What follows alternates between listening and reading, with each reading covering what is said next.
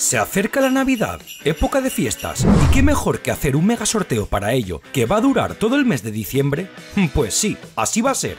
Si quieres ganar una fabulosa PlayStation 4 Pro con dos increíbles juegos, aparte de decenas y decenas de tarjetas Google Play y Amazon de 50 y 100 dólares que estaré sorteando, solo debes suscribirte al canal y activar la campanita, darle like a este vídeo y es que cada 500 likes daré un nuevo regalo extra y comentar por abajo, ya que cuanto más comentes, más posibilidades de ganar un premio vas a tener.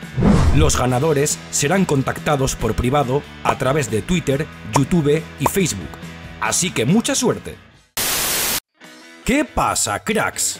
Hace 65 millones de años que supuestamente los dinosaurios se extinguieron, dando paso a formas de vida más pequeñas que ellos, y de la evolución de estas salimos toda la humanidad, entre otras especies. Pero, ¿es esto verdad? Bueno, supuestamente sí, aunque decir verdad, ese es otro tema, ya que de lo que quiero hablar hoy es de los dinosaurios, concretamente de la farsa que hay detrás del Velociraptor. Antes que nada, ¿qué son los dinosaurios?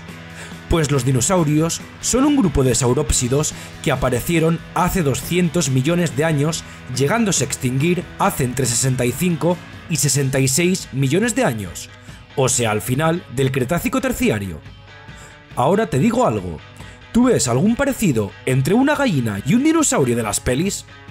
Pues ya puedes darle el parentesco como bueno, porque sí que lo tienen, y es que seguramente que todos los libros de ciencias que hablan sobre dinosaurios estén algo anticuados a lo que se sabe actualmente.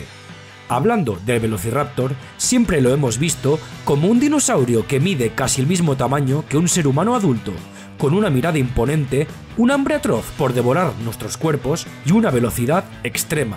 Pero de todo esto, solo te puedo decir que la velocidad es lo más acertado, ya que cuando digo muchas veces que el cine ha hecho mucho daño, no es por nada, sino porque es algo verídico. Siempre ha habido incertidumbre sobre el aspecto físico que podría tener un velociraptor, y es que se los han pintado grandes, sin pelo alguno y lo más temibles y atroces posibles. Claro, eso vende más en el cine que pintarlos como realmente fueron, porque piensa que todo esto viene de la peli de Jurassic Park, ya que en realidad los Velociraptor no midieron más que medio metro de altura, o sea que te llegaban por las rodillas como mucho, tenían gran plumaje, es decir, que se parecían más a una gallina que al velociraptor del cine, y sí, eran carnívoros, pero si te cruzaras con uno, seguro saldría corriendo antes de tratar de devorarte por completo, como se ve en Jurassic Park.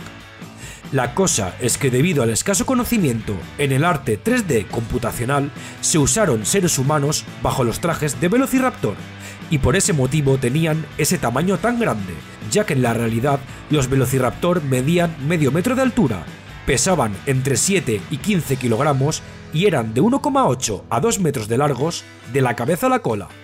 Pero vamos, que ni para nada se parecían a esos gigantes bicharracos asesinos que nos pintaron en Jurassic Park.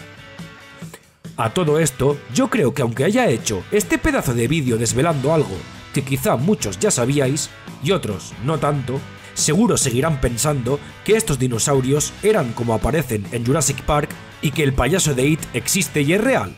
Pero bueno, es lo que hay. Pues nada más, ahora me gustaría que comentases por abajo si conocías estos datos sobre el Velociraptor. Y sobre todo, dale a like comparte el vídeo y suscríbete y activa la campanita para estar al día del canal y poder ver más vídeos como este.